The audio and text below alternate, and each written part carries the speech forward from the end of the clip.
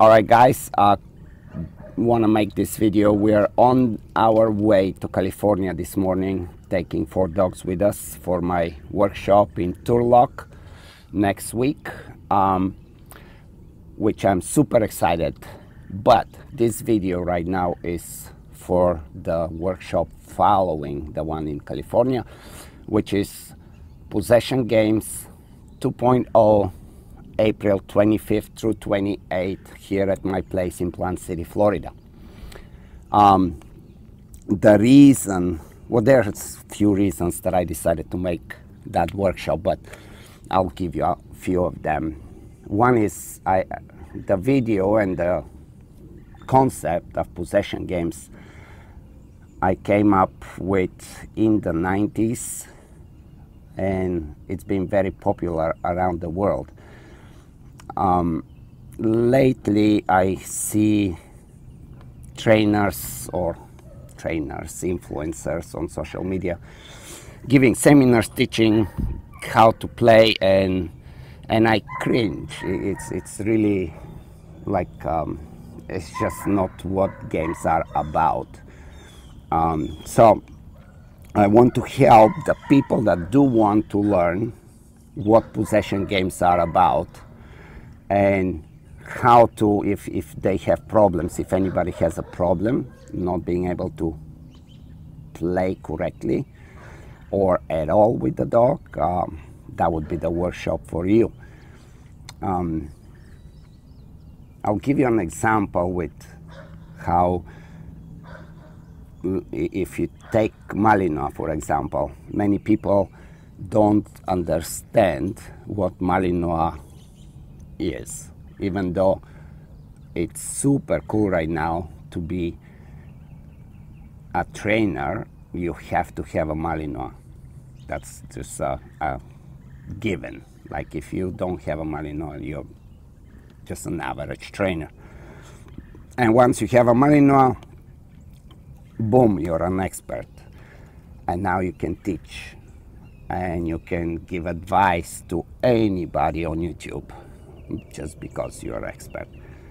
Uh, it's pretty dangerous, it's pretty shitty, and I will tell you something when you play, like we, you know, as trainers, you've seen, and you probably are one of them, that you let the dog out, you decide to play, you give him a toy, and then you encourage him to come to you and you do that all over again every single time. You play a little bit the dog grabs the toy and you encourage him to come to you. The reason 99% of the trainers do that is because they have seen it elsewhere the um, you can teach a dog to come to you as a way of interaction, but it becomes more of an obedience than, than anything else. It's like, okay, no, you cannot go around. You have to come to me and you have to jump on me. Not just that you have to come to me, but you have to jump on me. So when you force, when you teach a dog to do that, you're forcing him to do certain behaviors for you. And that's why I say that it's, it's like obedience, it's not really anything else.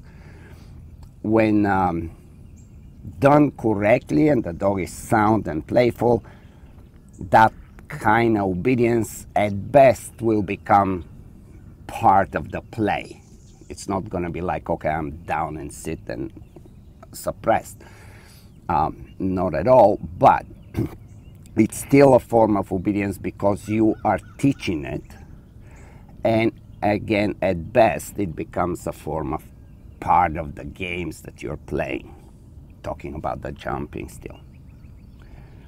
Now, if you understand genetics, you will also learn something, um, especially Malinois is a super good example for this because there is dogs that will jump on you when they first see you, when they're excited, and um, for various reasons. But they do that not because you're teaching them, not because it's obedience, not because it's part of the play. They do that because they are genetically programmed, they're selected. Somehow, along the way, that trait has been selected for. So, that means that certain dogs, when they come up and jump on you, for them, this is a, a, a, need. This is not something that you train, this is not something that you reinforce. This is an innate behavior that it's already programmed. There is nothing for you to do about it. The only thing that you can do that makes sense is allow the dog to do that and use it when you play, use it when you train, put it in your advantage. Um, many pet trainers, when, when you see a dog like this, they will be like, no, let's ignore him, let's teach him alternative behaviors, all this differential reinforcement stuff. sure, we can do that, but that means you are not recognizing what that dog is selected to do, what is the genetic predisposition, and why ultimately they want to hug you and jump and stay here and climb all over you. This is not dominance, although it can be combined with, but in the purest form, this is not dominance, this is not trained behavior, this is not a play interaction. I'm going to show you in, in a little bit. We're going to go in, in the kennel and I'm going to show you a dog. Just because you have um, two people and one is doing something and the other one is doing the same, it doesn't mean that they're doing it for the same reason. When you have a a yogi in some really weird position and if I sit next to that person and I try to imitate him, I'm going to be suffering, I'm going to be in pain, while that yogi is left his body and is just in a, in a very different mind state. So, very similar again when you recognize and you understand genetic predisposition versus thought behaviors, then you will know what to utilize, how to utilize, and how to play way better than, than what you see. It's one thing to see somebody play and try to mimic. It's very different to play with the understanding what you're doing. So when I, like in a lot of the seminars, and you will see this when you, if you are coming to the workshop in April, um, I would see a trainer playing with their dog. And they do pretty well. They've, let's say, had the dog for four years, five years already. They're playing. There's no problem with that. But because of the understanding of genetics and what play triggers, I can take the person's dog and I can start to play. Within one minute, I can guarantee you that their dog's gonna like to play with me way more than how they would play with their owner, which is insane. This should not be the case. But the reason this happens is again because possession games has an objective, has rules, has structure, but more importantly, I teach you how to recognize and incorporate the dog's genetic predisposition. You have breed genetic predisposition, you have individual selection as well. And, and learning what makes that dog tick. This is uh, um, what we're going to be learning uh, in April. So now we go inside and I'm going to show you the dog that I'm telling you about. It's not one dog, it's, it's just, I can show you that same uh, genetic trait with quite a few of our dogs because it is in the lines that we breed. But as well, we have other lines where that's not the case. They're just as playful, but they do not need to hug you. They do not need to clinch on you. And they, you have to understand, they don't do it because of dominance. They don't do it because of insecurity. They don't do it to please you. It's really what I would call it. It's a genetic need that you can decide to satisfy it and go along with to some extent or discourage it. Both will have their pros and cons as you can start to understand what I'm talking about. Hopefully, you do understand what I'm talking about. Um, so, when you compare these two dogs, the one that gets the toy and I go, hey buddy, come, come, come, oh yeah, yeah, yeah. And now I keep him here, then I play a little, I let him jump down, then immediately I call him back to me. This is what, once again, I would tell you that that's obedience, and you're incorporating that obedience in the way you play with the dog.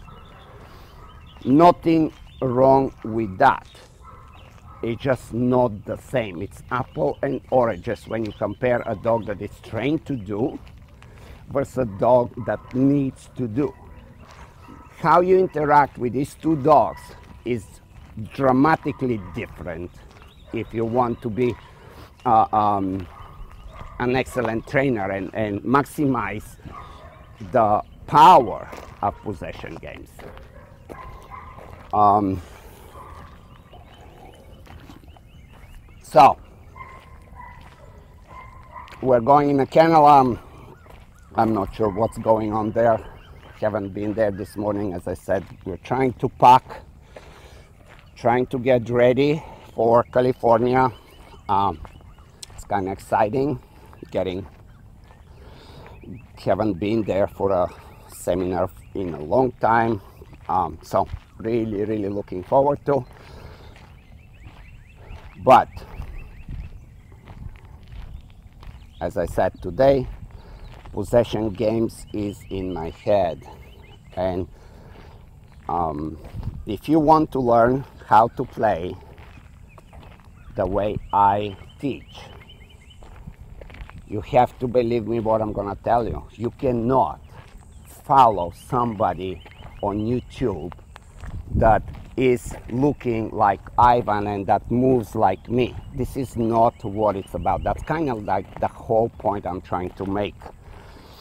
And to be clear, I'm not saying that some of those influencers cannot teach you anything. They most likely can.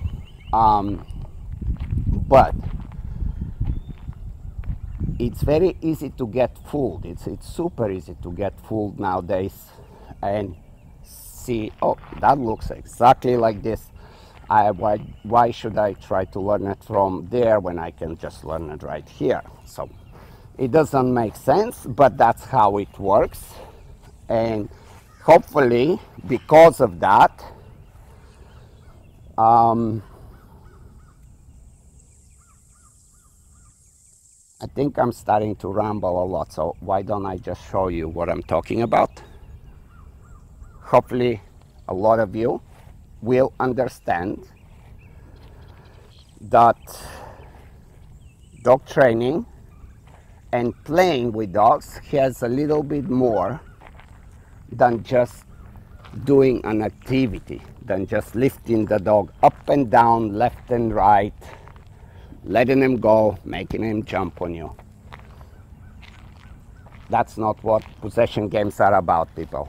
All right, so let's go and, and see what we do here.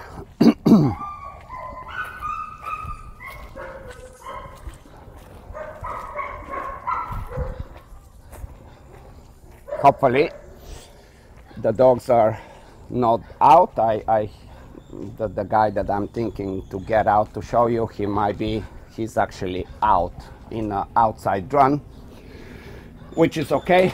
I'm gonna let him in and we're gonna do it this way.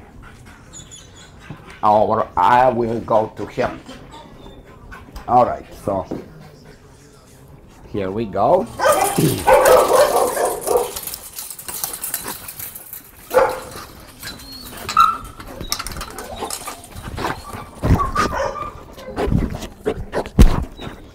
All right, so this is what I'm talking about. This is not trained behavior. This is a need. This is innate behavior that you can either reinforce and use it or you can destroy it and make the dog very weird and uncomfortable around you because you think you're a good dog trainer. This is what happens if I let him down. You know already what happens, right? So you can understand when I play possession games with this guy, he will come and he will slam the toy into me because that's what he does, not because I taught him. Understanding that goes a long way and yeah it's just one of the things that I'm gonna teach you in April so.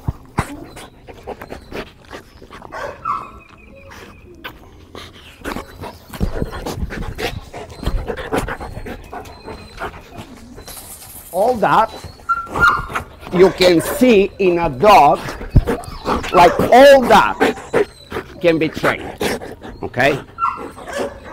But trained versus a need versus genetic predisposition are two different things and you better understand them because otherwise you will remain on an average level of dog training. Take care.